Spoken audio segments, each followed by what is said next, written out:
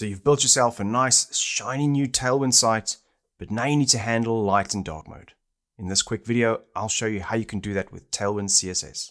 Okay, all you need if you want to code along is Tailwind installed correctly in your project. I'm using an HTML site. I've got Parcel as my bundler, but none of that matters. You can use React, Vue, WordPress. All you need to do is make sure Tailwind is installed on your project and you have access to your tailwind.config.js. So I've got my Mac settings open here and I'll toggle between light and dark. And right now, nothing happens on our site. Now there's two ways we're going to handle light and dark mode with Tailwind CSS. The first way is the same way you'd handle responsive styling. So let me show you my index page over here. If we scroll down, right here, I've used the screens. So I'm saying I want a width of half, which is 50%, but from the breakpoint or the screen XL, I want the width to be one third. Well, if we want to handle light and dark mode automatically, you take the same approach throughout your site's code. Now, all I'm going to do is apply some styling to the body because once you know how to do it, there's no point watching me for the next five, 10 minutes repeat that same process over and over. So I'm going to paste in three styles here. And what I'm saying here is for dark mode, and that has to be exact. So that's not something you can make up yourself. It has to be dark, colon, and then I want BG black. So the default, the light mode, I've got BG body. For dark mode, BG black. I want the text to be white. Now that'll only work if I haven't set the text color for any of these elements. And then I have to make sure, and this is just to do with my own theme, I have to make sure that I have no background because by default, what you see here, and you may not see it on the YouTube video, is this fine pattern. Well, that actually has a color inside of it. It's an SVG image. So that's it. That's as simple as it is. So you would go through your entire site's code and just put that same stuff in place. Okay, so let's save that.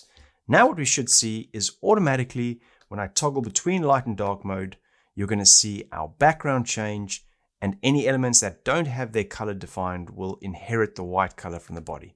Toggle to dark and there you go. And you'll note that text over there changes from white back to the black of the body when it's in a light mode. And that's as easy as the first option gets.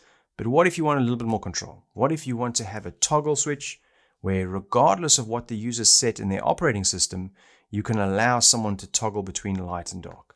Well, Tailwind offers you that as well. So now we're going to jump into our tailwind.config and anywhere inside of your module exports, we just need to reference dark mode and that's camel case. And we're telling it to use the class option instead. Now what this means is that by default, it won't do anything. So when I toggle between, let's save that and let me show you.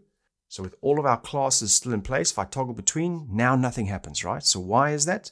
Well, now, because of this setting inside of Tailwind config, because of that, it's going to look for the class dark applied to the HTML element. So typically you do this with some sort of toggle switch, but for the sake of this video, I'm going to speed things up. All I'm going to do is scroll down to this login button right over there, and we'll use that as our toggle switch. So here it is right here, login. I'm just going to add in the class toggle dash dark. And of course, if it wasn't already clear, this class can be whatever you want it to be. It's not uh, Tailwind specific. Then I'm going to open up my main.js. You can ignore this code over here. This is to do with the menu toggle. So the first thing we need to do is we need to pull out that toggle dash dark. So why that over there? Well, that's what we've just assigned to our login button right there. Okay, we'll call it dark toggle. And then to that, all we have to do is add an event listener, just like I have done here in the previous video. So on click, I have to pass in the event purely for this video because it is an href. So if I don't prevent default, the page is going to try and reload. And this is the part that matters here. So document.document element, that's going to target the HTML tag for that page.